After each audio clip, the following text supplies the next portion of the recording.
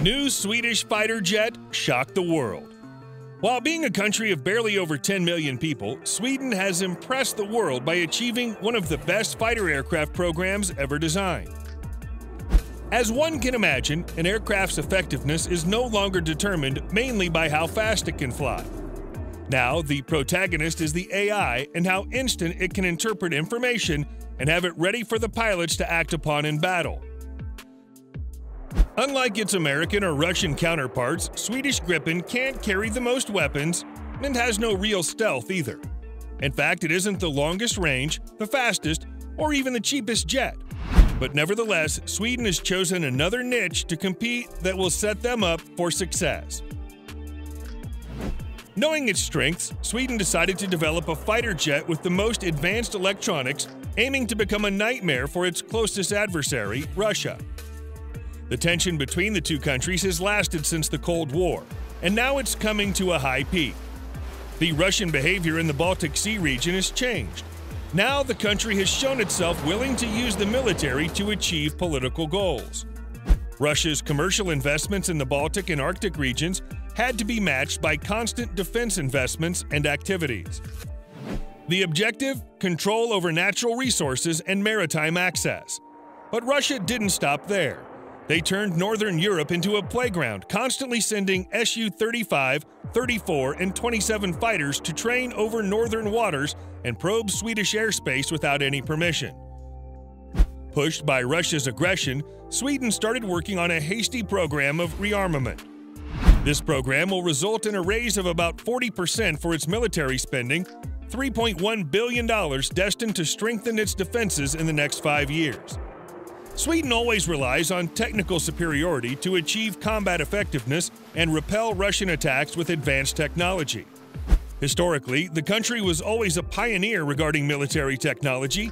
They deployed some of the first data links and electronic warfare systems in its fighters, seen on the Saab 35 Draken and more recently the 37 Viggen. That combination of aircraft combat performance, pilot tactics, cost, and availability were all baked into the JAS 39 Gripen. From the beginning, the Gripen was designed with a clear goal in mind the electronics. You see, the idea behind it was that during a conflict with Russia in the 80s, unsecured voice radio could easily be intercepted or jammed while digital communication was way more secure. The first data sharing between aircraft and ground stations via radio included tactical information such as the speed and altitude of the target or the direction to it shared as a point on a radar scope.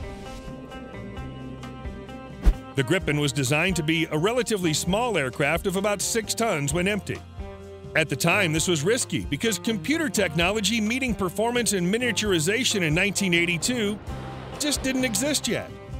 This stripped back design also helped. Firstly, because of lowering the cost, it saved $10 million to use for additional General Electric F404 engines and secondly, to give the basis for electronics innovation. The first planned 60 Gripen series was released in December 2020 and handed over to the Swedish Air Force.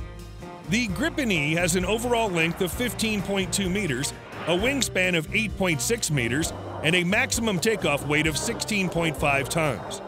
The aircraft's top speed is Mach 2 at high altitude, and its turnaround time is only 10 minutes in air to air configuration. Its internal fuel tanks have a total combined capacity of 3.4 tons, which means an approximately 40% upgrade compared to those of its former version, giving the Gripen an extended range for the flight. Saab also increased the fighter's payload by adding the two additional hardpoints, new sensors, and weapons. Now, the Gripen E can carry up to 7 MBDA Meteor Beyond Visual Range air to air missiles, it also features the Leonardo ES-05 Raven active electronically scanned array radar and the Leonardo Skyward G infrared search and track sensor. Not less important, the new electronic warfare system features a 360 degree spherical missile approach warning system, and it's also a formidable aircraft in more traditional respects. Agile, fast, capable of cruising at supersonic speeds without afterburners, even when carrying external weaponry and fuel tanks. And because of its smaller size, it has a smaller radar cross section as well. What does this mean? Well, you have to get closer to it or put out more energy from your own radar to be able to detect a Gripen. Because of that, the Gripen can get closer before launching its own missiles, securing a few more kilometers of effective range. To be clear, even with all these features, it's still not enough to compete with the US or Russian fighters in traditional ways, but Sweden has still one more promising feature prepared. For the side of Russia, its Sukhoi fighters have this well earned legendary status for their ability to outmaneuver US fighter jets in dogfights while pulling off dangerous and aggressive stunts in the air. The Su 57 has two side facing radars mounted below the cockpit on the aircraft's cheeks. A feature that was long promised for the F 22, but to this day, it has never been delivered. At first glance, the utility of these radars is clear. They provide a far greater detection field that enhances situational awareness for the Su 57's pilot. But with these basic advantages aside, the radars also allow the Su 57 pilot to execute a beaming tactic much better than nearly any other fighter out there. Beaming is the action when a fighter creates a blind spot by turning 90 degrees away, perpendicular to the enemy's pulse Doppler radar array. The Su 57 also has an advanced 101KS infrared search and track sensor installed atop the aircraft's nose. This type of sensor provides targeting information to the fighter's missile during flight, even while the jet is beaming.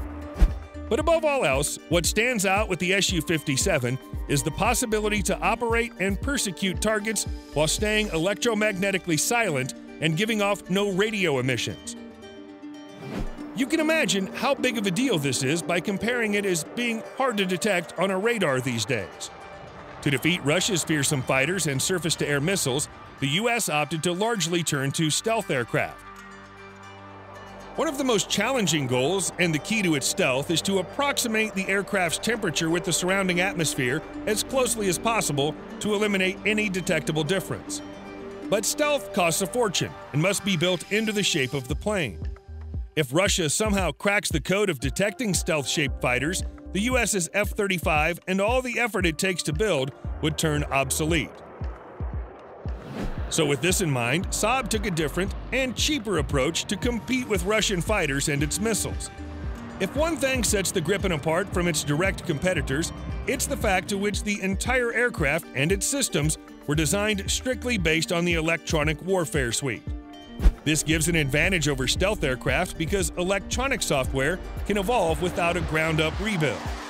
Saab's plans are to update the software on the Gripen every two years, allowing more flexibility to meet the evolving challenge.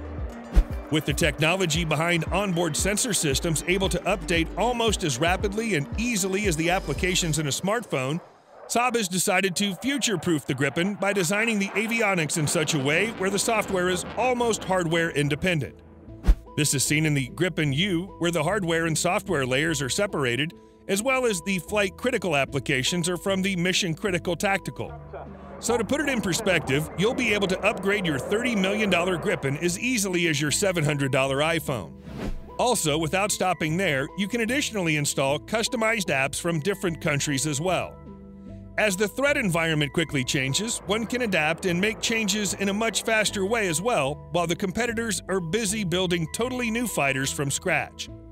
With AI electronics, the pilot can also select customized automation levels that go from fully manual systems up to completely automatic pilot. Think about it. This means that the pilot can decide if they want to monitor and manage everything, or opt to accept at will the system's suggestions regarding weapons and maneuvering. The technical information is shared and displayed at the exact moment, enabling quick and precise decision making while taking some pressure off the pilot at the same time. Ultimately, this will allow them to be in control intuitively and overcome their competitors in timing. Alongside its impressive avionics, the Gripen E provides some very high end sensors, being the first fighter aircraft to feature an AESA radar mounted on a rotating repositioner or swash plate.